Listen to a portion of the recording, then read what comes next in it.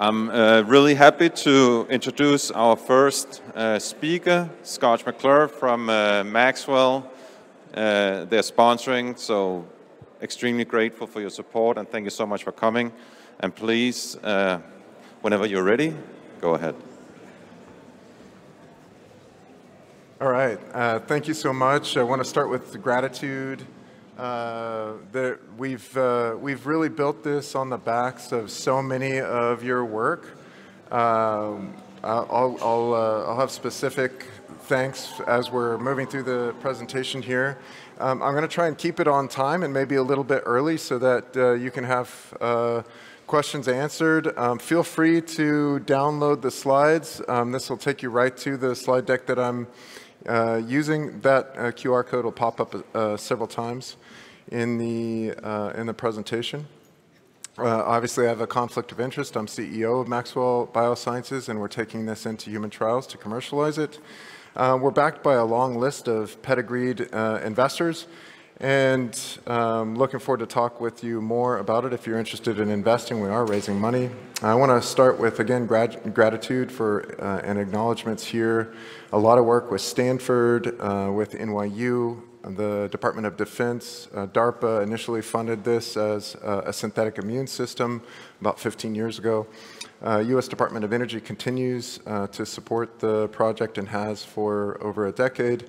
Uh, and the NIH uh, continues to perform many of the experiments that you're going to hear about today. All of the experiments here have been done by these independent researchers. Our company does not have our own labs, so we just send the compound out to these researchers. So what we have here is scientific consensus that this technology works in animals and in the labs. That's important because I'm about to blow your mind. Most of you are going to say this is going to be too good to be true. So uh, it started way back in 2015. I saw Tony Wyss-Coray is here. I met with him and Carol Lee, uh, CEO of Alkahest, even before there was a name for it, before uh, Alkahest was named, thinking about working together. Worked with the Conboys, and several others to, uh, to, to get data into this system.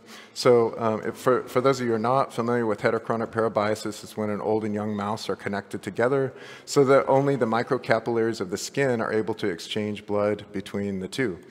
So uh, the biology at first looks like this. So you see sort of weak antimicrobial responses, high inflammation, weak apoptosis, uh, weak skin and epithelial, uh, tissues, low stem cell recruitment, and low angiogenesis in the old mouse, as, as we uh, have all you know, seen in studies, and the opposite in the young mouse, right? So then the old mouse gets younger, we all know that, and so it, it has nearly identical uh, aspects to the younger mouse.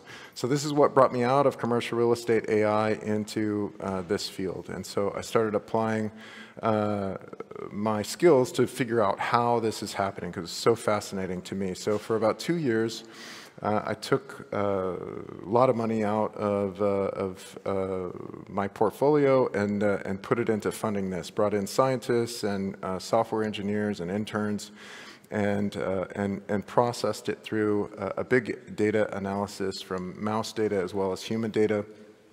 and did a lot of analysis on blood plasma, uh, and, uh, and what we came up with was LL37, which is a, a rapidly disappearing peptide. It uh, disappears in about six minutes in the bloodstream. It's also known as human cathelicidin antimicrobial peptide and ex expressed by the human CAMP gene for the geneticists in the room.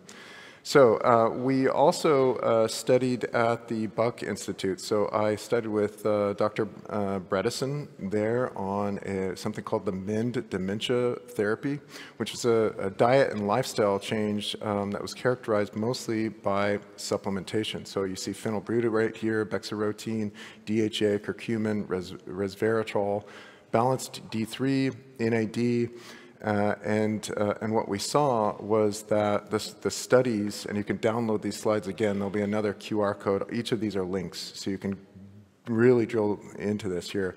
We also saw oh, 37 was a key component of that therapy. metformin also upregulates LL37. So more confirmation there. More links too when you uh, I really recommend downloading the slides and drilling into this.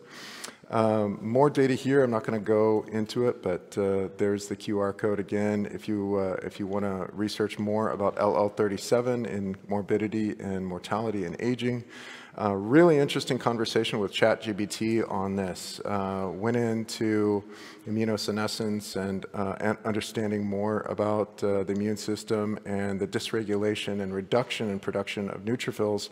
Neutrophils are the key producer of LL37.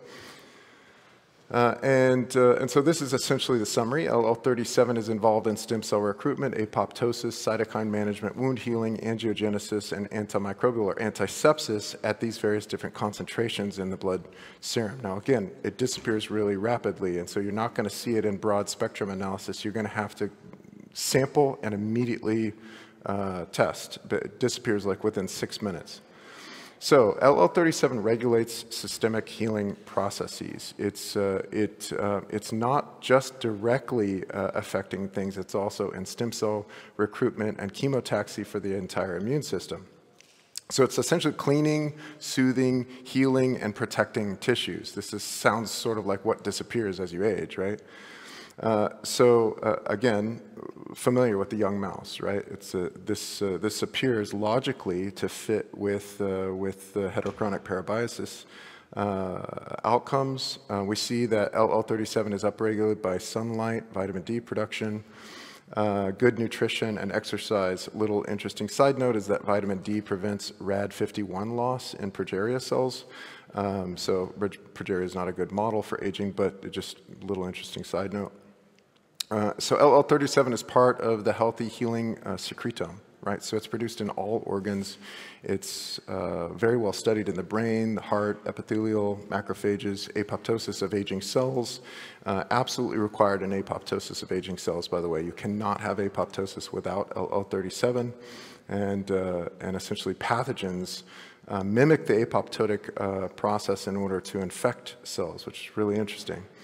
So uh, it's a possible super drug, but again, LL37 breaks down quickly and unpredictably in vivo. So um, even in one person, right, uh, LL37 would, would break down uh, faster, for instance, during the day than at night. So it's completely unpredictable in human trials. So how to solve this problem? So um, the effective uh, side chains, the functional side chains in LL37 are attached at the carbon, and that's where the proteolytic degradation happens.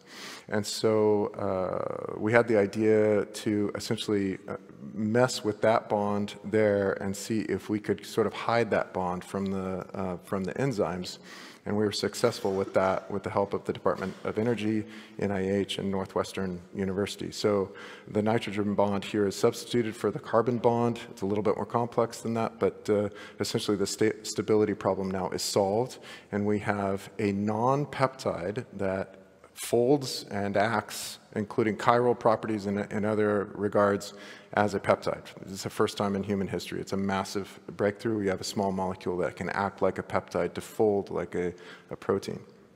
So we have a working mimic of LL37, a potential synthetic immune system. Uh, now, what do we do with it? So uh, there at the bottom, you can see roughly to scale what uh, we've branded claromers, uh, these, this family of uh, small molecules that mimic LL37 or the cathelicidin antimicrobial peptides of the body. So, so in our discussion internally within the company, what do we do? So aging clearly will not be regulated as a disease. So it can't go directly after aging. So biological dysregulation is the aging disease, right? So maybe we should just call it biological dysregulation. So uh, that happens through hormone depletion, thymus involution, trauma, damage, and general dysregulation. Uh, the disease then uh, causes immune depletion, inflammation, and uh, DNA damage. So we're very familiar with immunosenescence and inflammaging. I'm not going to go uh, into that too much, but that's essentially what we're targeting here. And, uh, and so we can kind of just sort of guess at which aspects LL37 is involved in the 12 hallmarks of aging. So pretty much all of them. Uh, so Infections accelerate aging. This is very well shown. There's thousands of of studies on LL37 and the various different effects of uh, dysregulation of LL37. Uh, we, see, uh, we see examples of immune dysregulation and the effect of not having enough LL37, especially in uh, acquired immunodeficiency syndrome or AIDS. Um, we see high levels of heart and kidney disease, frailty, and cognitive impairment, uh, similar to aging in, in AIDS. And then also 70% of the people in the room, if you look around, 7 out of 10 of you have an HSV1 infection of the brain right now. Uh, and then that um, presents uh, clinically uh, as cognitive impairment, loss of memory, et cetera, later in life. So uh, also uh, pathogen driver of aging here, or the diseases of aging, or uh, biological dysregulation, as we like to call it, is H. pylori. So it dro- drives stomach cancer, colorectal cancer, and cardiovascular disease. And um, about 50% of people have H. pylori uh, infections. Um, it's larger in the third world, about uh, two-thirds of the total world uh, population. Now, why should you uh, potentially think about going after infectious disease uh, when you're going after uh, aging indications? Well, the FDA is much more likely to approve it. So, uh, in fact, about four to five times higher. Uh, rate of approval. Uh, the Congressional Gain Act in the United States gives you a 12 year exclusive uh, commercialization window as opposed to the traditional seven. And you have a high rate of FDA breakthrough therapy designations. So, uh, infectious disease today is generally caused by viruses, bacteria, and fungi. This is a big problem. It causes sickness and death for millions. We saw too much of this during COVID. The doctor says there's nothing we can do, and we need to stop that, right? So, it's not just aging, it's also the age of pandemics that we're entering into that's very important. So, the drug that we're taking to the market uh, uh going into human trials next year is called MXB 22510. It's effective against all tested bacteria. Uh, even antibiotic resistant bacteria, it doesn't matter because this is a mimic of the immune system. It's effective against all tested fungus, um, it is not effective against all tested viruses. We have other, uh, other molecules that are effective more broadly, including Ebola and others.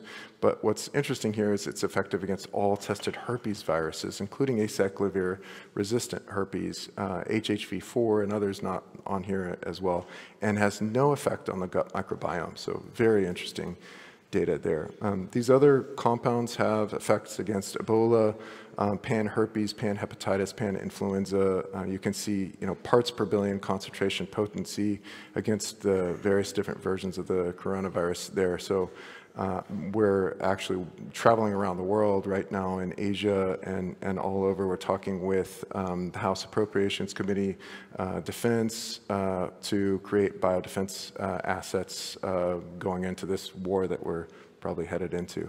So the NIH uh, funded animal studies in Syrian hamsters. It showed that was totally prophylactic and totally therapeutic for the COVID-19 disease state as a, a very active immune system is and it's effective against completely suppressing uh, an Ebola uh, infection, so uh, even at lower uh, concentrations. So um, we found that to be really interesting. That's a potential $3 billion uh, indication right there just because the federal government will pay for that. Again, these, what was done by the Rocky Mountain Lab, by the NIH. We, do, we don't do these studies ourselves. Obviously, we can't get a copy of the Ebola virus. So um, what would it require to replace the bulk of antibiotics in humans and livestock? One, you'd have to have a new mechanism of action like what we're talking about here. It would have to be effective against all tested bacteria, safe and non-toxic in animal trials and human tissues, massively scalable, and less expensive to manufacture by one half. And then, of course, gravy on top here is that our compounds uh, require no cold chain, no refrigeration. It's completely shelf stable. In fact, we cooked it on a hot plate for 30 days, same exact properties to the chemical afterwards because of that robust small molecule nature, not what you would see in a peptide at all.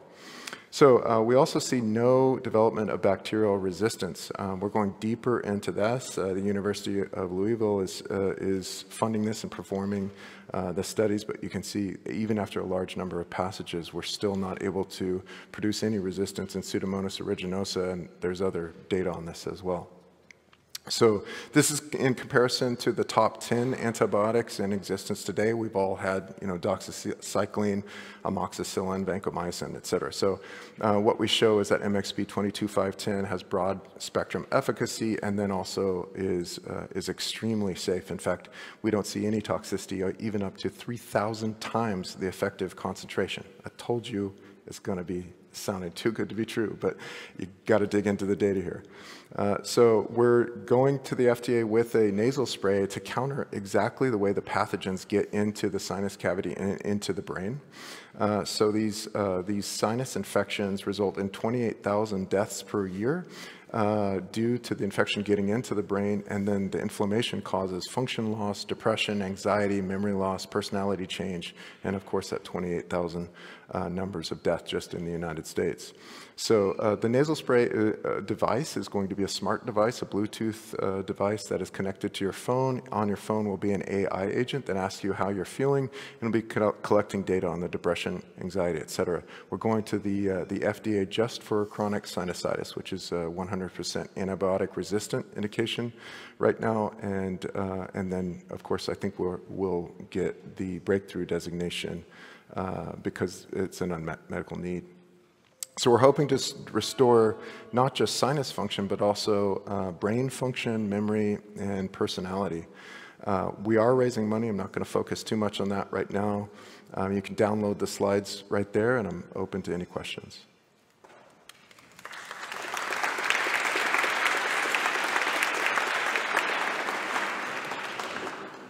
Thank you so much. That was really great talk. Uh, we have time for one question. Oh, yeah, sorry. Sorry, Luigi. How could I miss you? Is it detectable in the blood, or do you have an antibody that can be used to detect it? So we don't, uh, we're not focused on any antibodies or any function of the adaptive immune system. Although LL37 is produced by all of the T cells, all the white blood cells of the body. We're just trying to focus on the anti-inflammatory side of the immune function, right? So innate immune function and MXB 22510, this compound that we're going into human trials with, uh, it shows only anti-inflammatory neutrophil activity. So it actually converts uh, inflammatory cytokine production by neutrophils and, and causes the, the, uh, the neutrophils to start producing anti-inflammatory cytokines. All right, thank you so much, Scott, and thanks again for your amazing support. Really appreciate it.